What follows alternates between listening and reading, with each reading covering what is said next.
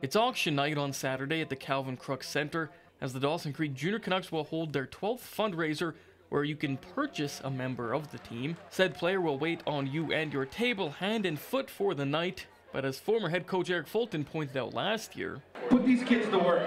They got good bats, most of them. Buy a junior Canuck and they're technically yours until next year's auction. Shoveling snow, raking leaves, landscaping work, you name it, the player will do it. Although, of course, no official paperwork is signed. All joking aside, the event is a very fun and entertaining night, but most importantly is the team's biggest fundraiser of the year. Crowd gets going and we start having a good time. You never know what you can generate.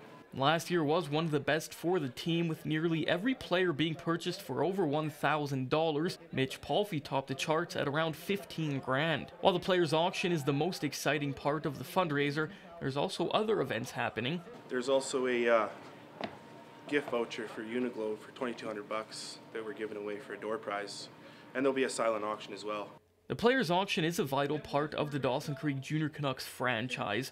Running the team can get very expensive, this event offsets a good chunk of the costs that help local players continue their hockey careers. Gear to ice time, etc. There's lots of stuff that comes into the comes into the franchise for us to pay for, right?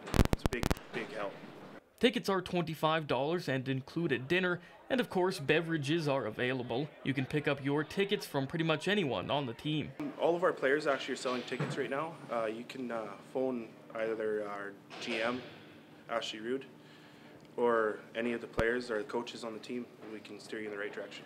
Once again, the event is on Saturday at the Calvin Crooks Center. It gets underway at 7, and tickets also include entry to the team's game versus the North Peace Navigators on Friday night.